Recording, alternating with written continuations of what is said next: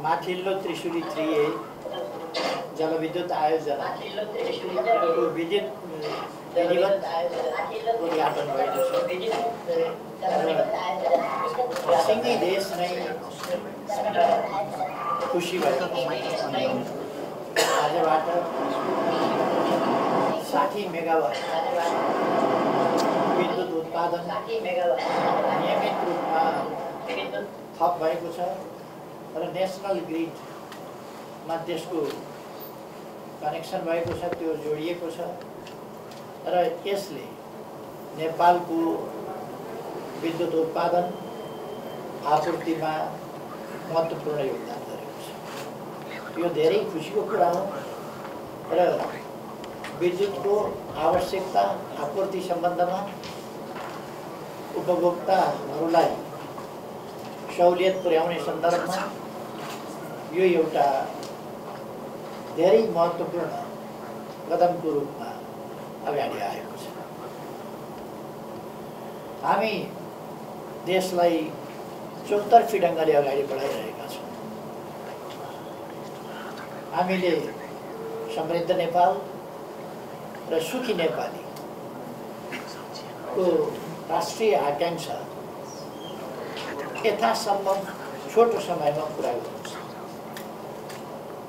हामीले अब दुई तिन वर्षभित्र नेपाललाई अति गरिब मुलुकबाट माथि उठाउनु छ र अब दस एघार वर्षभित्र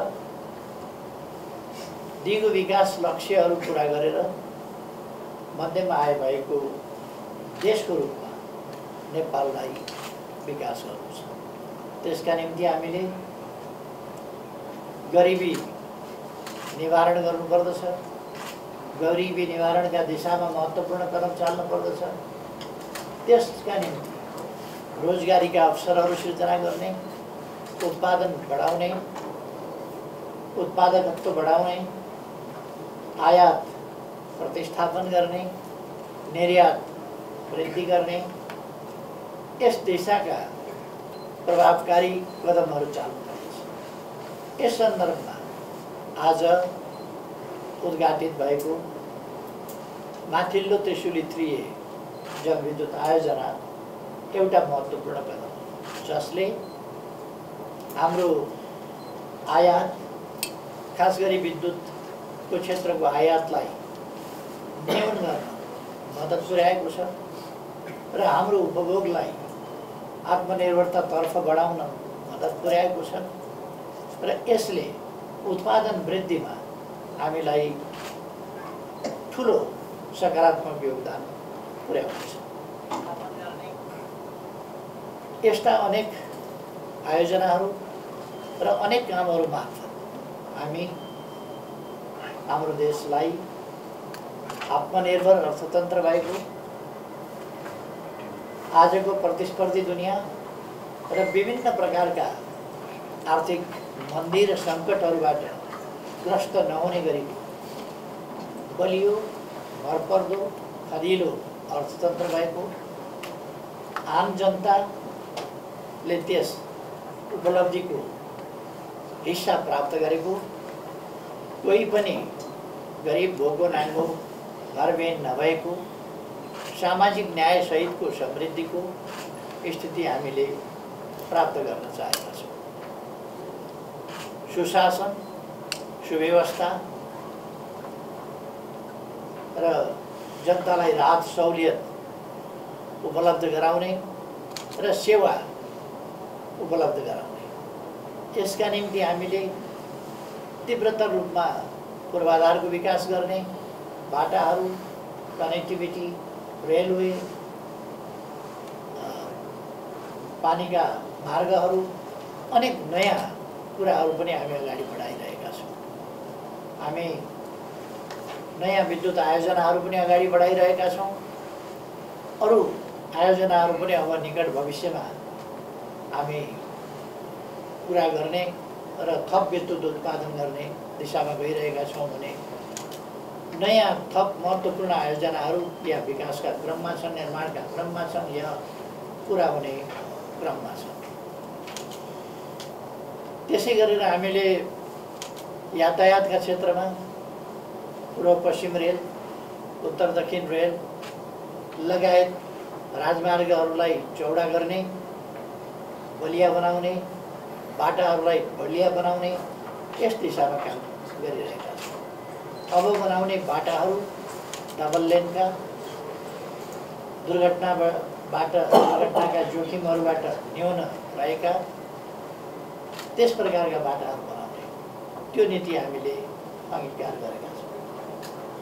बाटाहरूबाट बाटाहरूको सञ्जालबाट र विद्युतको सञ्जालबाट र सञ्चारको सञ्जालबाट देशका विभिन्न भागहरूलाई जोड्ने र विभिन्न भागका जनतालाई यी सबै सुविधाहरू शिक्षा स्वास्थ्य लगायतका कनेक्टिभिटीका सुविधाहरू सम्पर्क सम्बन्धका सुविधाहरू यी कुराहरू पनि पुर्याउने ती कुराहरू हामीले आफ्ना कार्यक्रमहरूमा राखेका छौँ नीतिहरूमा राखेका छौँ र त्यसका निम्ति प्रयासहरू गरिरहेका छौँ हामी कृषिको आधुनिकीकरणका निम्ति प्रयास गरिरहेका छौँ जसमा विद्युतको आवश्यक आपूर्ति विद्युतीकरण कृषिको आधुनिकीकरण र व्यावसायिकरणको लागि पनि जरुरी छ त्यसै गरेर पर्यटन व्यवसायलाई अगाडि बढाउन विद्युतको आवश्यकता छ त्यसै गरेर उद्योगहरू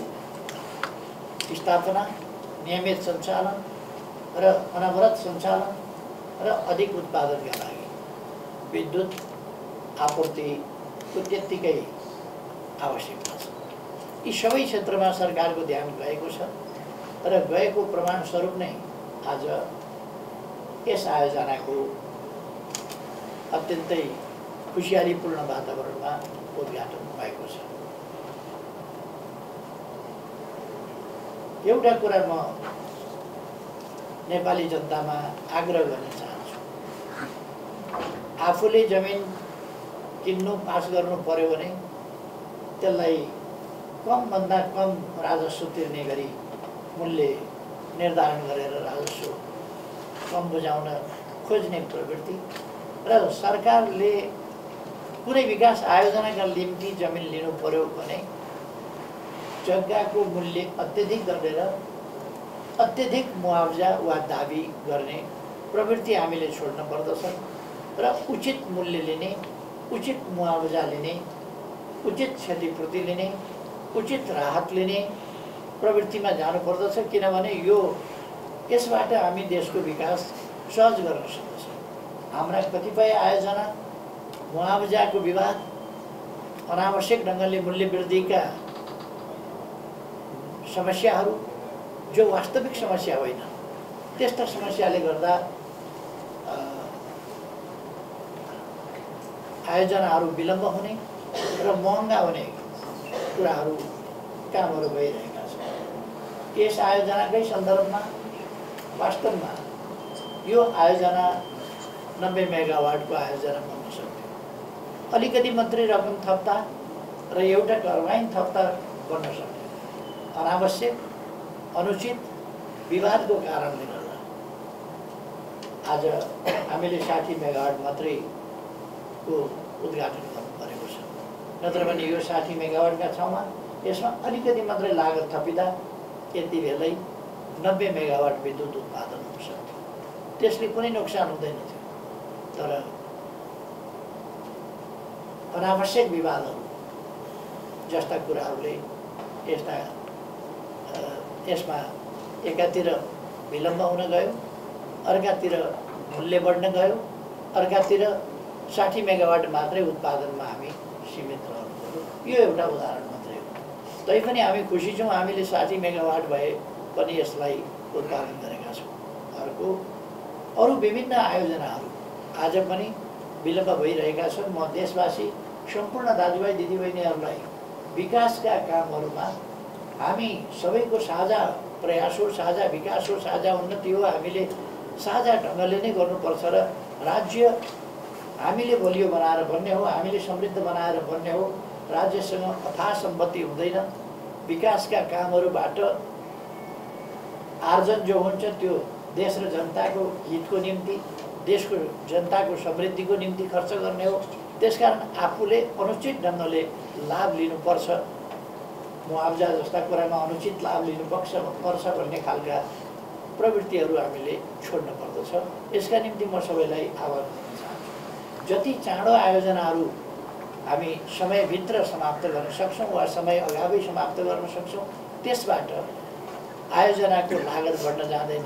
आयोजना समयमा सिद्धिन्छन् र उचित लागतमा सिद्धिन्छन् त्यसबाट समयमै हामीले त्यसको सदुपयोग गर्न सक्दछौँ र त्यसको प्रतिफल पनि प्राप्त गर्न सक्दछौँ।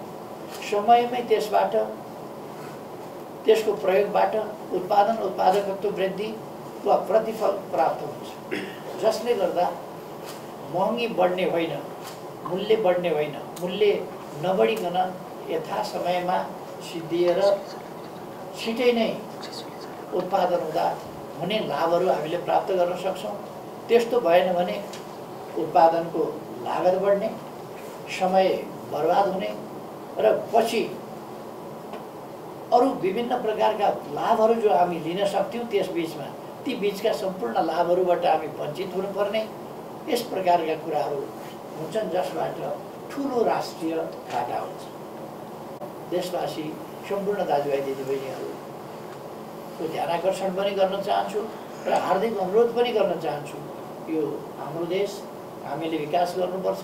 हामीले विकास गर्नका निम्ति विकासमुखी अवधारणा विकास गर्नुपर्छ भन्ने सङ्कल्प विकास गर्नुपर्छ भन्ने अटुट हामीले लिनुपर्छ। हाम्रो देशको विकास हामीले गर्ने हो। लगानी हामीले बाहिरबाट ल्याउन सकौँला तर हाम्रो प्रयास भएन। हामीले सहयोग गरेनौँ। हामीले अनुकूल वातावरण बनाएनौँ भने बाहिरी सहयोग पनि बाहिरी लगानी पनि बाहिरी ठेक्का कम्पनी ठेकदार कम्पनी पनि उनीहरू पनि निरीह हुन्छन् र निरीह भएर उनीहरूले समयमा काम सम्पन्न गर्न सक्दैन। व्यवधानहरू बढ्छन् त्यसर्थ हाम्रो देशको विकास हामीले गर्ने हो पहिलो जिम्मेवारी पहिलो उत्तरदायित्व हामीमा हुन्छ। यसर्थ मैले सबैमा आग्रह गर्नु आज हामी देशलाई अब देशमा शान्ति सुव्यवस्था कायम भइसकेको छ। हिजोको जस्तो विगतको जस्तो स्थिति छैन। हामी कहाँ द्वन्द्व छैन।